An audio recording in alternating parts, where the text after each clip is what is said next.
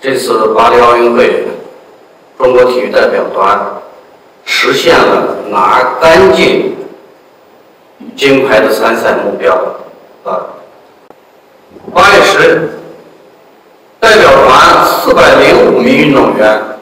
共三十五个项目，一百五十一名运动员接受了兴奋剂检查，两百一十四例，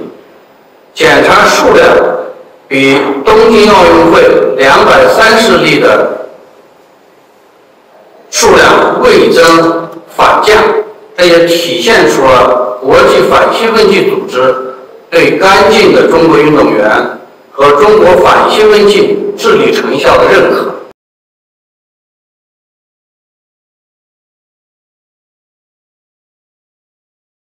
如果用一个词来概括本届奥运会，中国体育代表团参赛成绩的特点，那就是突破。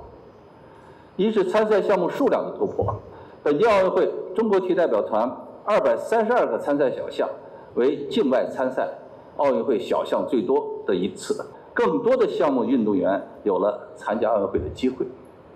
二是金牌总数和质量的突破，四十枚金牌突破了伦敦奥运会的三十九金，东京奥运会的三十八金。获得金牌运动员达到六十名，创境外参赛历史新高，与2008年北京奥运会持平。三是金牌覆盖面的突破。本届奥运会，中国体育代表团在之前没有获得过金牌的花样游泳、艺术体操、自由式小轮车三个分项上获得金牌，夺金分项共十四个，仅次于北京奥运会的十七个。四是培养输送金牌运动员省份数量的突破。本届奥运会获得金牌的运动员来自二十个省区市，获得奖牌的运动员来自二十四个省区市，展现了我国竞技体育全面均衡发展的新成就。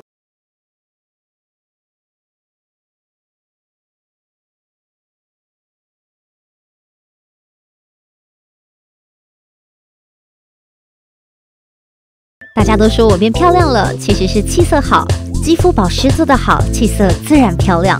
我选择 KS 皇家呵护芦荟保湿舒缓凝胶，因为它用国际芦荟协会认证高品质的库拉索芦荟，含有大量的粘多糖体，类似于玻尿酸，可以帮助锁住皮肤水分，让肌肤长时间保持水嫩。还运用 TTS 技术，增强芦荟的生物活性，修护舒缓日晒后的各种不适。